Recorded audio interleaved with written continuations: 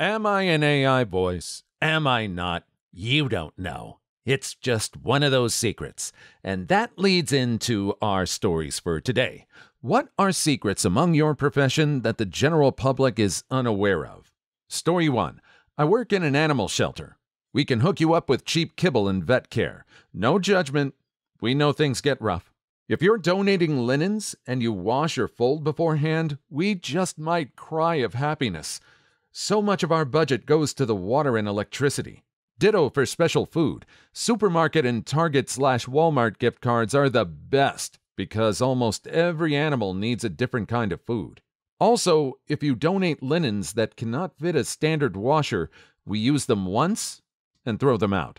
Don't worry about what they're made of, though. It all gets thrown in together. Microchip all your pets and keep the info updated. If there's no chip, we hold them for a week and then it's off to adoptions they go. And please, don't let your cats outside unsupervised unless you have a fence. We see so many cats slip their collar or get hit by cars. Give them plenty of stimuli inside toy, scratching post, litter box, and they'll never know the difference. If you want a new kitten or puppy, you're gonna wait a while, but adult pets are always in need of new homes. Plus, we socialize and house train them. If you're looking for a specific breed, you're better off looking at breed based rescues. Unless that breed is pit bulls. We get a lot of them, and they are sweeties. I can't believe there's a stigma still around pit bulls. A pit bull, as with any pet, has an attitude based on their owner's treatment of them and how they were trained. I've known many pit bulls to be the absolute sweetest pets, and I'm more of a cat person. They have the energies of puppies, even well into their later years. Story 2 Almost no famous musician has any idea what they're doing. Musically, I mean. A lot of them can be characterized as very keen business people, or even terribly involved in their production. Not super secret, sure. Famous musicians who are famous for doing technically impressive genres in the electronic field still don't know what they're doing. They don't have to. Every single possible thing has been sampled, preset, packed up, and is available somewhere. I don't think it's a bad thing. In fact, the only bad thing about this is regular music listeners thinking their own vision for music would be too hard to accomplish. Not helped by artists and industry who really love showing off how complex their stuff looks. Never mind that almost none of it was needed to do what they did with it. There are AI composition programs that can analyze input from specific artists to generate new content like that artist. This has been possible in general for a while. Music theory is just music programming. But this stuff can essentially generate specific music theory for a collection of specific input. Music will never be hard again. I don't think that's going to apply just to the electronic field. There's a channel out there on YouTube that actually specifies creating 24 hour procedurally generated djent music. And that's guitar based. I've listened to it. It sounds like the real thing. Also, as far as musicians being business savvy but not musically inclined, it reminds me of an animated show called Metalocalypse about a death metal band called Dethklok. It's really funny. They're actually the biggest band in the world, and they're idiots about everything except playing their music and negotiating their contracts. Story 3 Your servers come back and chat junk about you to the chefs. So even though we can't see you, we know all about you. Also, if you're a regular, then there's no doubt that you have a nickname. And if you're a regular and a jerkwad, then you get poorer treatment. Eyebrows is back in. Better make sure you put her chicken in the microwave for five minutes before you serve it because that crazy shrew always complains that the food is too cold when it's fresh off the grill. Lady Hands is in for the fourth time this week. Give the guy some extra ice cream with his dessert. Poor guy must be lonely. We remember you. We go further for the people who are nice. But if you're a jerk, then you'll get what you deserve. I've been on that side before, on the service side. I'm sure it's nothing compared to all the chaos that servers face nowadays. But yeah, we'll remember you. And just because the chefs can't see you doesn't mean they'll not know about you. The servers are the front line. And if they're a good kitchen, they'll communicate. Part of that is letting them know about the customers. Story 4. What a lot of people don't understand about software and electrical engineering is it's more like plumbing than you would think. You really only use the hardcore math, i.e., anything that can't be simplified to networks of Ohm's law, in RF engineering or high speed designs or power electronics. Everything else is look at the datasheet, follow the instructions, follow rules of thumb. All the circuits the guys at Pololu and Adafruit make, those are basically just a single IC that performs the function, and they followed the white paper for the chip, maybe with some slight modifications. I even read a teardown of the Saleae logic analyzer, and from what I remember, the early versions were just a basic FPGA dev kit. It was well implemented, but really the reason it was successful was the whole package worked well, was well designed, and the software made it easy. Getting that design right and implementing it reliably is hard, but the fundamentals are not really hard. And the fact that software engineering is largely plugging systems into other systems is well documented. It's also by design, because people hate yak shaving. The trick is knowing what libraries and idioms are around. Story 5. Goodwill Associate here. Couple of things. This isn't a dump. We can refuse things, so stop your whining of why we can't take your mattress, crib, bed frames, humidifiers, etc. We price items about one third of its original retail price, so if a table is $19, it will be sold for about $5. Also, no bargaining. Prices are set. The really, really good stuff that was donated gets sent to a pile called eBay and is sold on there with a Goodwill account jewelry, video game systems, baseball cards, etc. Story 6. I'm a cashier about to be a key holder. 1. We track your every move if we think you're stealing. And no, we don't think everyone steals. We aren't randomly sweeping at the aisle you're on almost every single time you walk in the door. 2. If you're a jerkwad, every employee knows by the end of the week. 3. Also relates to 2. Since everyone knows what you've been saying, we're keeping heavily aware of what words come out of your mouth. And if you're really being rude or acting like a pig, the managers are hiding on an aisle listening to you to slip up so you can be kicked out. 4. If you ask us to hold an item, we will. Seriously. If a sale is happening on Friday and you find an item in said sale on Wednesday, give it to us and we'll put it in the back for you. 5. Related to 4. If your item keeps flying off the shelves, just tell us. Once we get it off the truck, we'll hold it for you to buy. We held 10 boxes of cookies for a man because we kept running out and he was obsessed with them. 6. At least at my place of work, if you're short by a few cents, or if I seriously do not want to break your $20 bill over 3 cents, we'll take it out of the donation drawer. Donations go back to the companies at mine, if we have it. Edit. Aisle, not aisle. Sorry, dyslexic. Again, this just comes down to how you treat the customer facing people. I'm sure it's a little bit different at other places. If you're nice to them, they'll be nice to you. These are people. I know there are a lot of people that will dump on us because they think they're better than us. There's no reason to take it out on somebody else. And there's also the age old saying if you don't know, ask. Story 7 High school teacher. Sometimes on really tiring and long days during lecture, we sometimes lose our place or forget the right words. But we know there's a smart kid out there who does know. Instead of embarrassingly scrambling for notes, high schoolers smell fear and will pounce on you if you show it. We'll say some hogwash like, and so when we take this factor, we. What? Anybody know? Yes, Megan, what's the answer? It may look like we're prodding students to pay attention and reinforce learning, which is a tactic used often, but a good portion may be that we just had a brain fart or downright forgot and need help without losing attention. P.S. Before anyone jumps on it, yes, teachers are human, and we act so with our students. It's not a matter of academic arrogance or being wrong in front of them. That happens, and it's okay. This is an example of days where patience is thin and student comment is not needed. Story 8 I work as a lab tech in a private environmental lab company. We mainly get samples from the government and a couple of other private companies. The instruments that we use to test for containments in the samples we receive are absolutely ancient.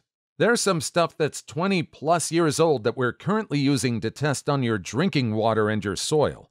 When those instruments start fouling up on us, We either Mickey Mouse the issue, or we have our old in house mechanic of all things guy find a better, more reliable way to Mickey Mouse the problem. Also, we have Jimmy rigged fume hoods that don't really work as well. Literally, the lab is just falling apart, just like the instruments. Also, our software and hardware is old as hell. Like, we're talking about Windows 98. We're still using floppy disks to handle all your results of your samples. Old. We even have the fat desktop computer monitors as well. Story 9. I work at a pizza place. The more items you get on your pizza, the fewer of each item you will get while still being charged the same price per item. Ooh, that's a good one. I can understand that one. At some point, you have to consider the structural integrity of your pizza. Plus, you have to consider the cooking time. If you kept the same amount of ingredients for each one, that's going to be a little longer in the pizza oven, and your crust is probably going to get burned a little bit more. I totally understand that. Makes sense. It's just interesting that it's being pointed out right now. Story 10. I'm a young female in an assisted living home. Men may become wheelchair bound, unable to speak or hear, but there is always one body part that still works. Story 11. People sometimes perish in hotel rooms. As soon as the body is out, we clean the room and put it back out for rent. Doesn't happen often, but there's a chance your bed had a not alive person in it less than two hours before you checked in. Story 12. Combat Medic. Not so much a secret. But a key to being a lazy piece of dirt in a generally high stress job is to teach the boots to do your job for you, essentially making everyone a medic in all but the most advanced stuff so they still have a reason to keep you around. So basically, outsourcing. Makes sense. That is generally for people with people skills, or if you need to learn people skills.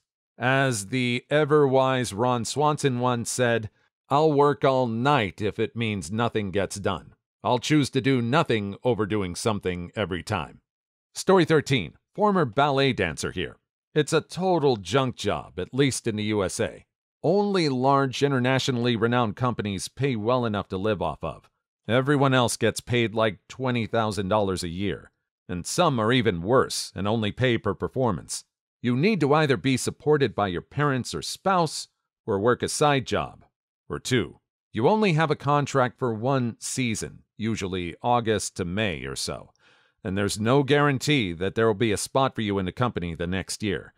If you get injured or get fat, you're probably going to get fired. Story 14.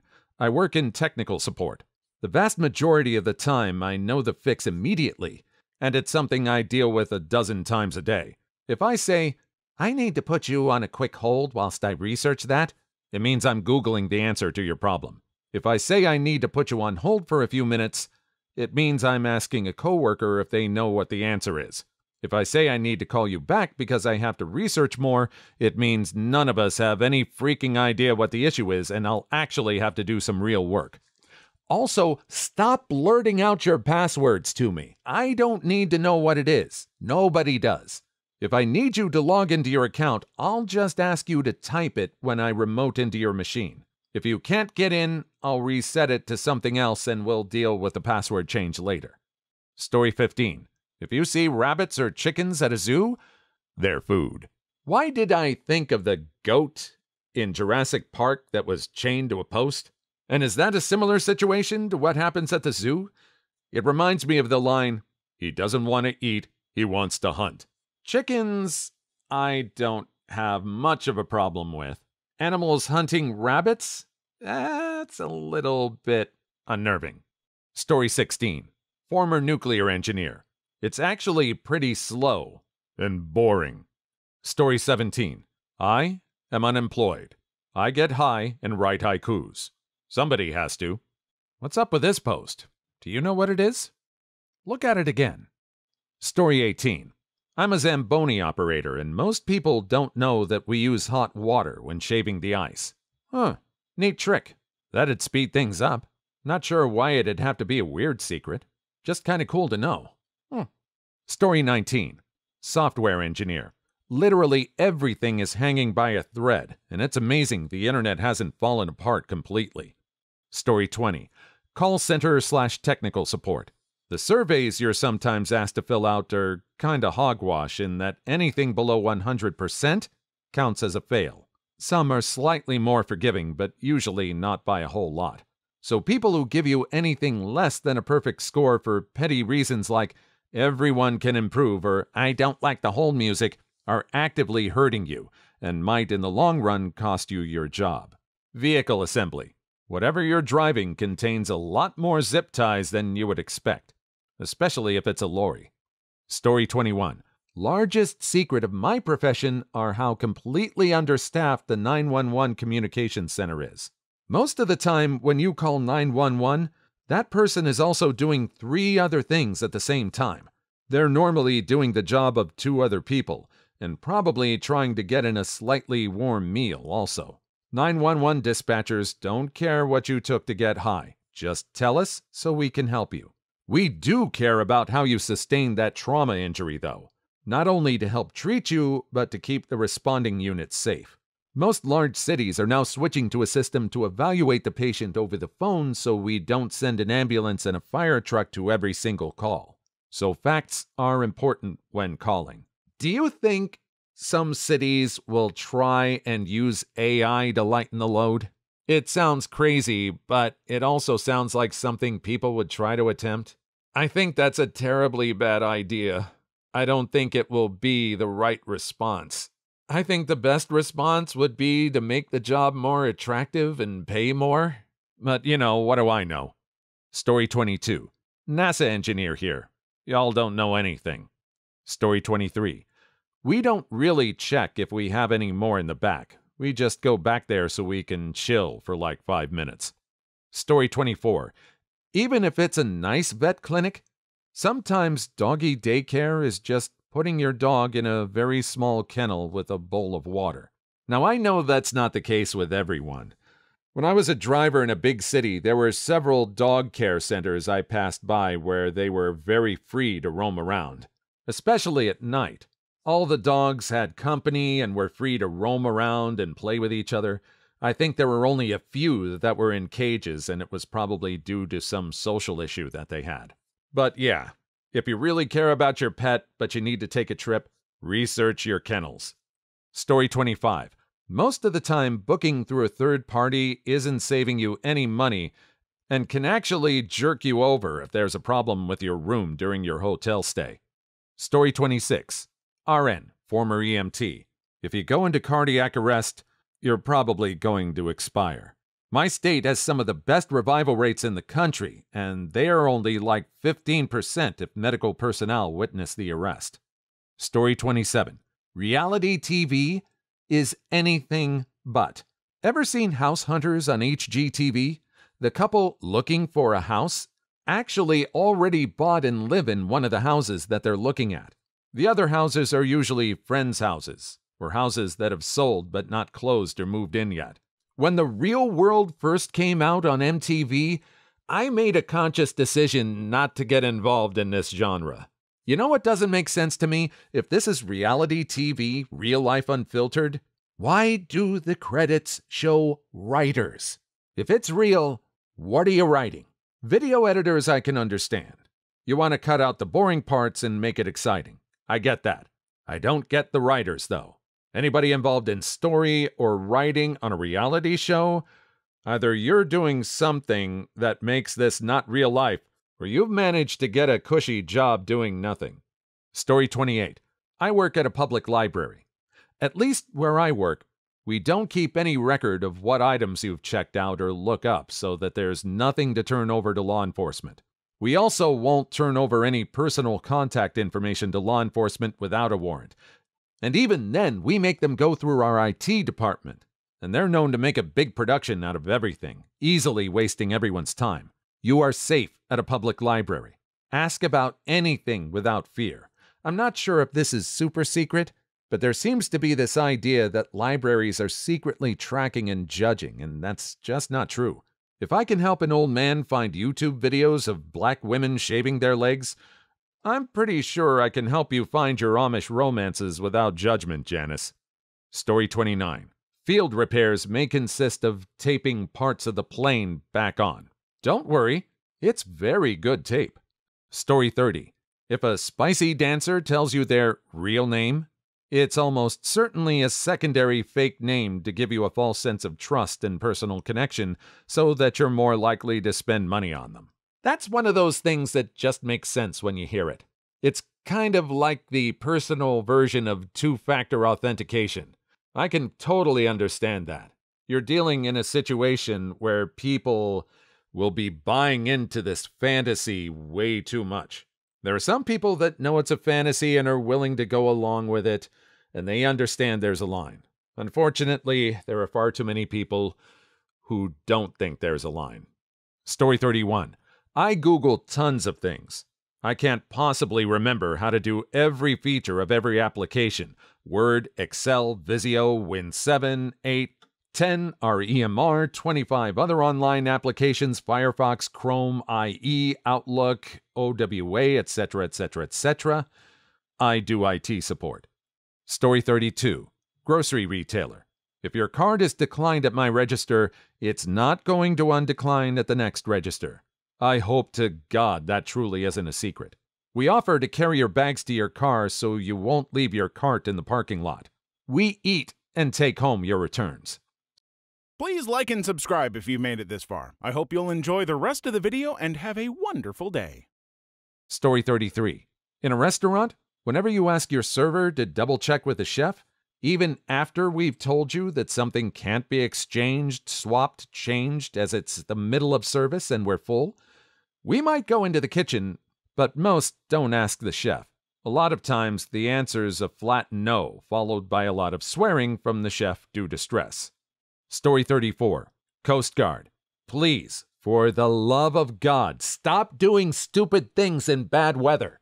Story 35 I've been a waiter for a long time, and the general public has no idea how many times I've seen my coworkers come in drunk as hell but still make it through a shift and have no one notice.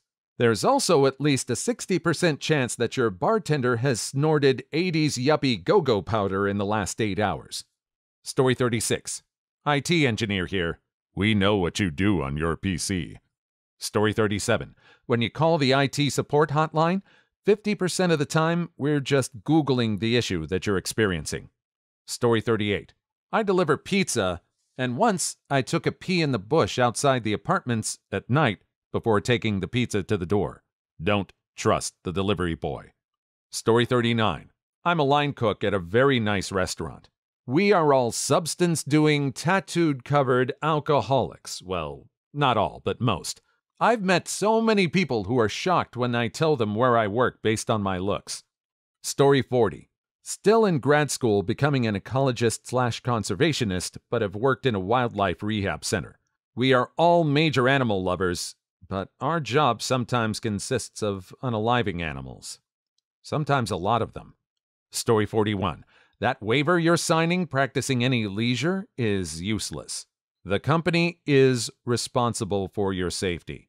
However, there is a clause called risks inherent to the practice of activities, which means you cannot sue for a fracture playing hockey, but can definitely sue in the case of equipment or human failure. Story 42. I work at a health food store. Half the time, I don't know what the hell kind of herb you're talking about, or if it's going to cure your crazy ailment.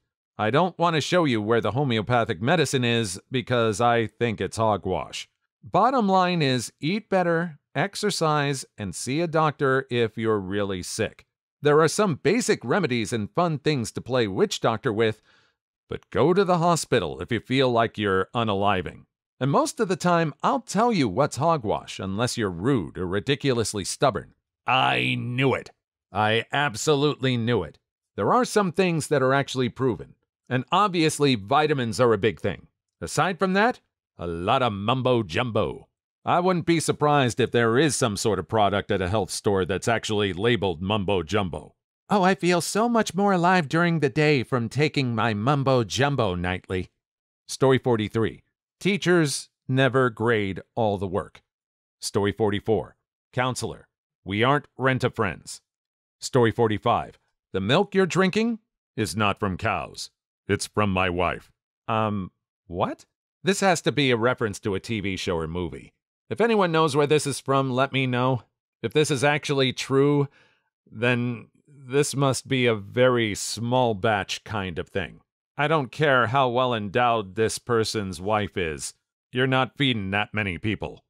Story 46. Third party booking sites for hotels save you no money. Might even cost more. They're all generally owned by Expedia, too, even though they're different names. Story 47. I used to work in collections. If you're late for a bill, don't worry until the letters stop coming from the company you owe money to. Also, tell them first and always be nice. There's always a way around it. We don't want to send things further unless you're a total jerk who calls up and yells at us because they can't pay their bill. Story 48. Probably too late, but I work for a political party at the state level. If you've ever donated any amount of money to a political candidate or organization, the party knows and records everything about you that they can get their grubby little hands on. There are full time employees and interns that spend hours and hours every day doing extensive donor research. Story 49. We're being timed at the drive through. Please be considerate for the other customers. I feel like I'm trapped in a corner when a customer doesn't know what they want and forces me to remake their drink several times when there's a line in the drive through. Story 50. We still exist as a trade. Chimney sweep. Story 51. Behind every biomedical advance is a mountain of small, furry animal carcasses. Story 52 Telco worker. If you're not using an encrypted messaging app, we can see every text message you've ever sent or received. Story 53 Ever wondered how the mouth of a deceased person stays shut in an open casket wake? Yes, sew it shut. Not by the lips, but by the jaw and the nose wall under your lips. Story 54 I work at the local fast food hamburger place, and whenever we run out of hamburgers, we just run over to the McDonald's and just start serving everybody McDonald's. We put a new wrapper on it, and nobody can tell the difference. Story 55. When I worked in retail, customers always seemed to be under the impression that no matter your role within a retail business, whether it be on the checkouts or stock control, a lot of people tend to believe that if you work in a supermarket, you should know every single bit of information when it comes to nutritional value about every single item. Used to do my head in. Story 56 Security officer here. If I think you're stealing stuff, all you have to do is run and you're in the clear since we're not allowed to detain or chase people depending on the location. All I can do is write down details of your appearance and then hand the details over to police and let them hunt you down. I honestly hope I never have to deal with someone who tries to steal and then, when they get caught, try to play the victim. Story 57. I'm a librarian in a public library. Most items that get donated end up being donated to the recycling bin. I'm sorry, but we really don't need another coffee stained, dog eared copy of Fifty Shades, and processing it takes time and money. Story 58. The amount of tax fraud committed by servers and bartenders in the service industry. A large portion of servers and bartenders will not claim 100% of their tips in order to pocket it. Plus, there's a good chance your server or bartender is high or drunk. Story 59. In the UK, I teach, but I'm a freelance developer for a friend's marketing business during holidays. They employ five full time developers and refuse to hire women under 35. They can't handle the cost of potential maternity leave, nor take the risk of holding down the job open for so long with the refusal to come back. Story 60 GIS Data Analyst. Most data files we work with to make multi million dollar decisions, ecological decisions, health related decisions, or any other type are either out of date, inaccurate, imprecise, or have bad metadata.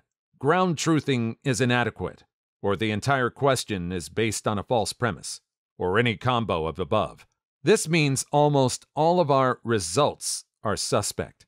Think of us as applied statisticians. Story 61 Airline pilot here.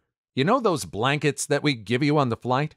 The airline never washes them, ever. We just shake them out and shrink wrap them for a later flight. Every once in a while, we toss one that's unusable. Story 62. As a graphic designer, you aren't always paying for how quick something is done, but for the expertise of the designer. I will charge you way more than it should cost to digitize your drawing for a logo. If you hire a real designer, they will go through a lot of paper, drawing out thoughts, logos, and ideas. Those few logos you do see are actually the best out of 50 other ideas. It doesn't take me long to finalize your logo, but getting to that step is the hardest part. So stop saying you could have come up with that, because if you could, you would have. Story 63. Sometimes students are given a better grade than they should because we're too tired to really give a care anymore. Sometimes they're given a worse grade because of this, but those teachers suck. Story 64. I work for a parcel delivery service. Although stuff does get thrown, it isn't as rough as you think. Think of it as tossing something just hard enough to get to the top of the stack when you're in a hurry. Story 65. I drove for Uber for a few weeks. I had to get a vehicle inspection that required me to have my suspension in working order. No body damage and a whole lot of other things. I went to the Uber hub and paid for some guy to make sure my seatbelts work and check off every other box on the list. Story 66. Engineering Manager. To oversimplify my job, if there are multiple solutions, we use the cheapest one. Looking up existing equipment is a major part of my job. Why spend time designing something if I can buy it off the shelf, as long as it's cost effective? This doesn't apply to all industries, but in building it does. Story 67. Used to be a baggage handler for the airlines. Don't check a 49.5 pound bag and slap a fragile sticker on it. Would cover for gate agents too from time to time. Whenever your flight's delayed, for the love of all that is holy, please be understanding. We don't want to stay till 3 a.m. waiting for your flight just as bad as you don't. Story 68. I work in mental health, and a lot of times we see people with a bipolar diagnosis come who clearly aren't bipolar. They have borderline personality disorder. But telling a patient they have BPD can make them even more difficult to work with. So a lot of times I see mental health professionals just let it slide rather than correcting the diagnosis. Story 69. Physician here. We don't take antibiotics for the sniffles. Also, most of us give each other discounts or see other physicians free of charge. A few years ago, I had an elective plastic surgery procedure done. The surgeon gave me 20% off. So did the anesthesiologist. Depending on your state laws, we can write prescriptions for ourselves, except substances. Story 70. Produce retailer here. Be sure to rinse your fruits and vegetables really freaking well, because we sure as hell don't get paid enough to care what happens to it before and after it reaches the shelves. Seriously, though, it gets gross.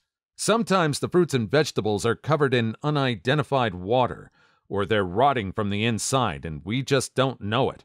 Or maybe it just fell on the dirty floor and we put it back on the shelf. The list goes on.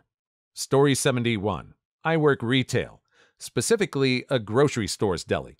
You'd be amazed at the difference in service you'll get if you say hi and ask how I'm doing instead of walking up and blurting your order at me. And if you say please and thank you, you better believe I'm going to charge you for things cheaper than what you're buying. Story 72. Hotel manager here. The rooms are often dirtier than you may imagine, even if they appear clean. Do not touch the carpet or cloth furniture. Always check the in room Bibles for cash. Guests always extort us with a threat of bad reviews if we don't do XYZ for them. I've literally had a guest do this and demand 30 free nights because they misinterpreted a room description online. Just be nice to us and we'll hook you up. Story 73 that some public defenders do a really good job and some private defense attorneys a really poor one. That what you pay for and what you get in legal representation often have no connection. Story 74. I am a lawyer. Yes, we know our adversary. Yes, we will be chummy and joke around with him or her before the judge walks in. Yes, I'm still advocating for you slash against my adversary. Story 75. Recruiter here. Some companies don't want to hire old people. Please leave your story in the comments. I would love to make a video on them in the future. Also, don't forget to like and subscribe.